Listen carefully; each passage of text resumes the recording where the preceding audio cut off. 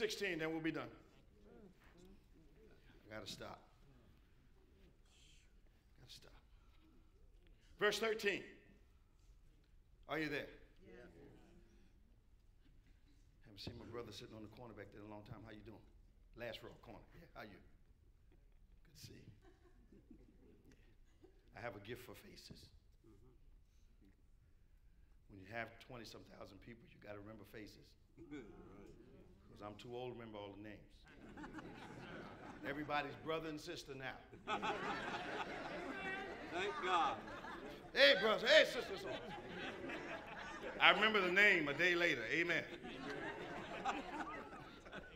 Y'all young men like, keep living, bro. Keep living. Keep living. Be in a meeting, don't remember the name, people the name till the next day. But be, be, be grateful. If you don't remember, you need to see a doctor. Might have a little alls this, a little demand that, but but if you do remember, you're good. No matter how long it takes. Verse 13, are you there? Watch this now. When Jesus came into, into the coast of Caesarea Philippi, he asked the disciples, saying, Who do men say that I, the Son of Man, am? And they said, uh, Some say, Thou art John the Baptist, some Elias, others Jeremiah, or one of various prophets. So Jesus is talking to his disciples who've been following him. And he asked those who are following and who he has empowered and gifted and demonstrated in front of. What do you hear about me? Who do men say that I, the Son of Man, am? The answer reveals some disturbing things to me.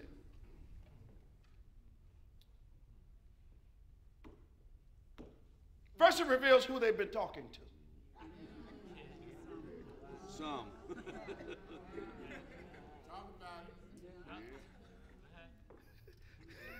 It's been in your Bible the whole time. You just didn't see it.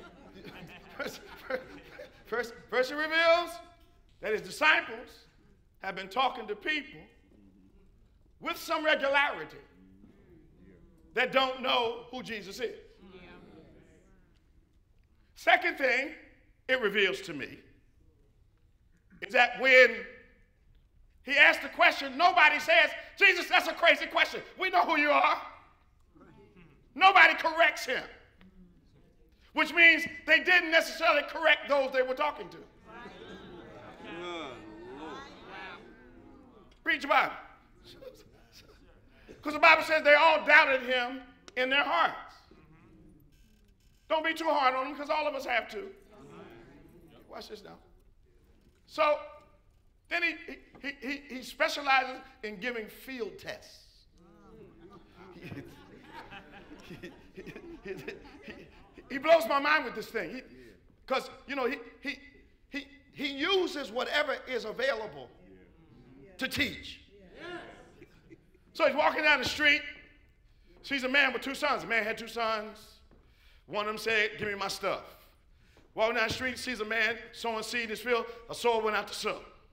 He, he just, he, get, he see, here's the wind blowing. The wind blows where it listeth. Nobody knows where it comes from. He just uses everything.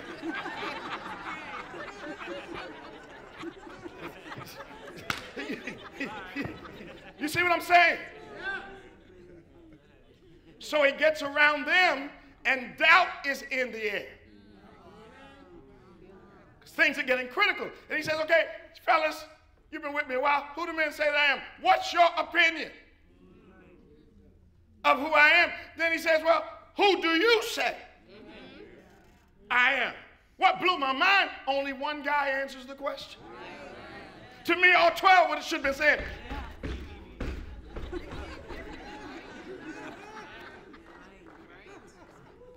But the knife carrying, ear cutting, cussing, soon to betray, the regular guy with a title. He says, I got this one, Jesus. I know I'm wrong a lot, but I got this one, brother. You the Christ, son of the living God. He said, he, he, said, he said, boy, you didn't get that from nowhere in the street. You don't have an opinion, you have faith. Because he doesn't call him Jesus, he calls him the Christ. I believe what you said about later.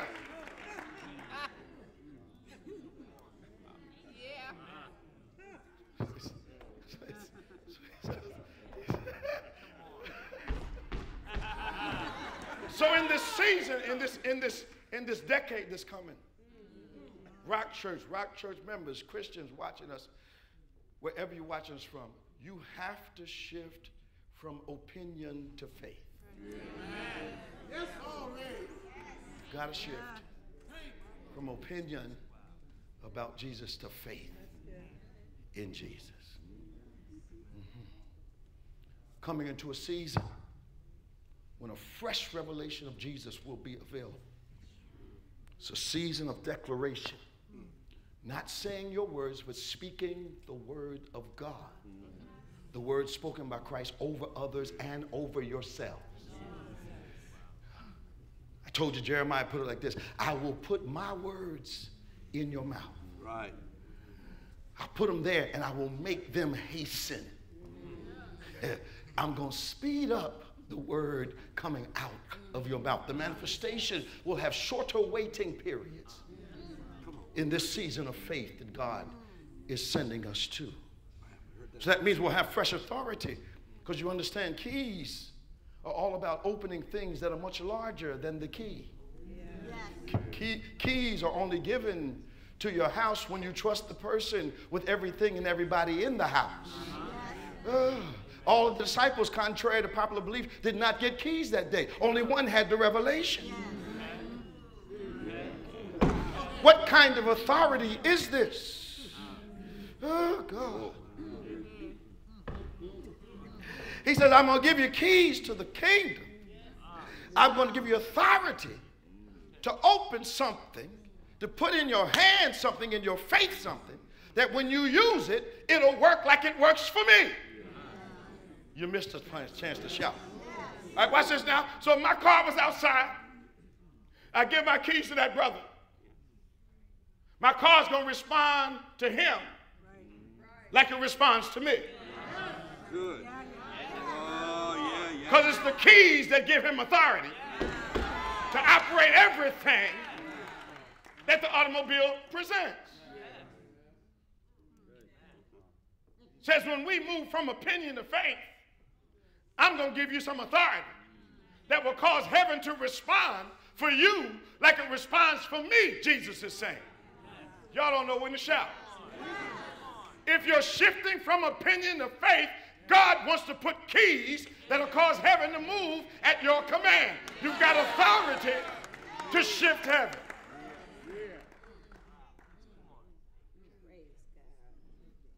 Is this still making sense?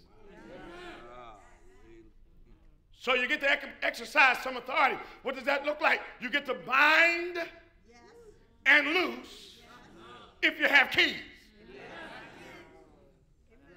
You get to shut some stuff up, get to open some stuff up with your keys.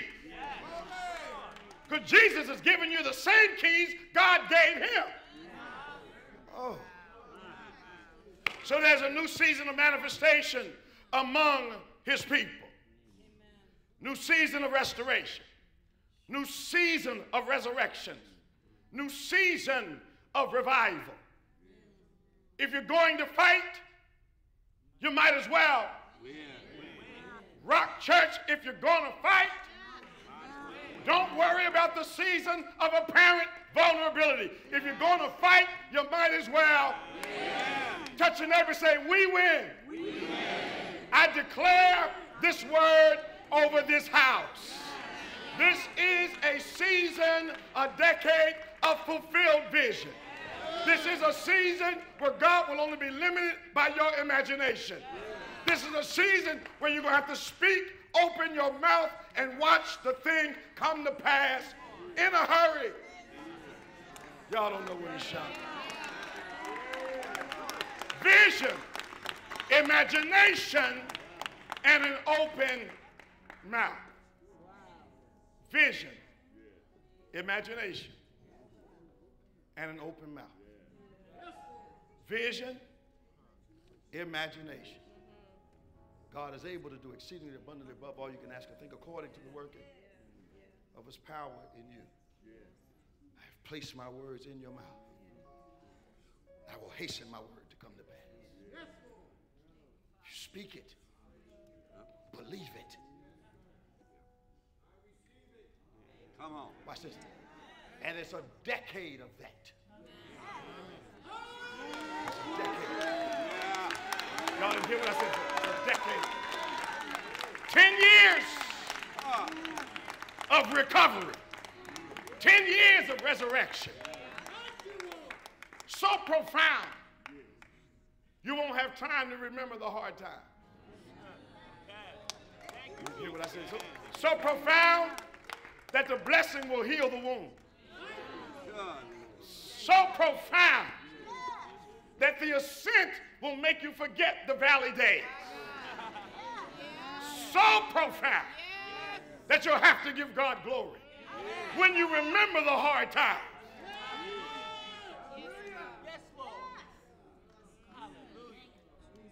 Stand on your feet. I need to pray for you. Thank you for watching Rock City Church Online. We pray this video sharpens and encourages you to be all that God has called you to be. You can give online at rockcitychurch.com or on the Rock City Church app. Like and share us on social media at RockCC Baltimore and subscribe to our channel so you don't miss the next episode or live stream.